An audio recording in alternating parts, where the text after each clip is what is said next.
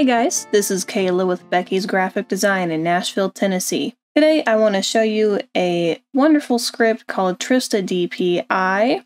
Um, this script will do lots of wonderful things, but today we are going to focus on just the unembed images portion of the script. Oftentimes, when we receive a manuscript from an author, if it has images in it, those images will come in as embedded images, meaning they are placed into that book manuscript, and that is where they live. They are not properly linked in as InDesign would like them to be. Often, what we must do is open up that Word document and then save out each image from the Word document, or have already imported that manuscript into InDesign you can unembed the links from there. Now, it's not a very big deal if you have a short document like this one, but if I had a multi hundred page document, I would not want to manually unembed those links for each and every one. And let me show you in my links panel. You can see that this icon indicates that it is an embedded link. This image is properly linked in, it is living in a file folder somewhere and not inside the document.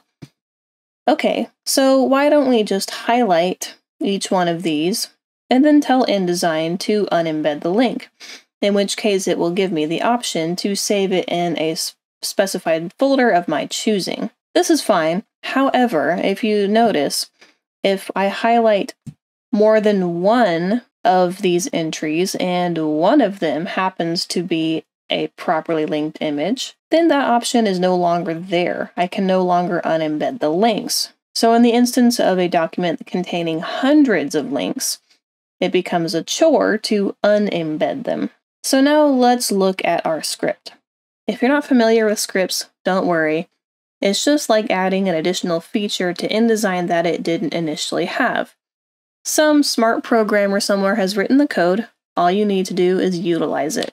If you're not sure what a script is or how to use one or install one, look at this link here where I explain in another video how to use them and how wonderful they are. At the same time, I will add a description for this script and a link for it in this video's description. I'm going to open up my scripts panel. If you can't find yours, look for it under Window, Utilities, and Scripts. I'm going to scroll to the bottom of my script list and look for Trista DPI InDesign to Photoshop. This is the script we will be utilizing today. The script is really smart, has a lot of failsafes in it. It wants me to save my file before beginning. And now, there is a whole lot of options here in this script. If you'll notice, there's only one image showing in the script column here. This is because that is the only linked image in the document.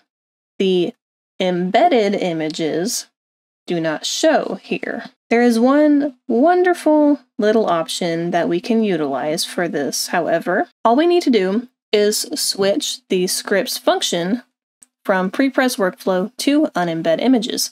Now you'll notice my two embedded images are showing in the column above. I'm going to double check my settings here at the bottom. I'm utilizing just the active document. And to run the script, I'm going to click enter on my keyboard. Here the script explains that those embedded images can become linked images in a couple of different ways. One option is to put all of those embedded images into one folder. Another way it can do it is to separate them by chapters. Say you had multiple InDesign documents. One document was called Chapter 1, and another document was called Chapter 2. You could separate the images via chapter. However, we only have one document, so we really only get one choice. We're going to put ours into one folder. Now the script will ask me where I would like to put my images. Uh, for the purpose of this illustration, I am simply going to put them in my downloads.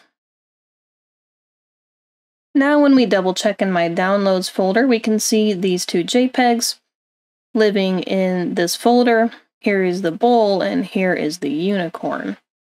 When we go back to our InDesign document, we can see now in our links panel that those images are no longer embedded, and they have now become proper linked images.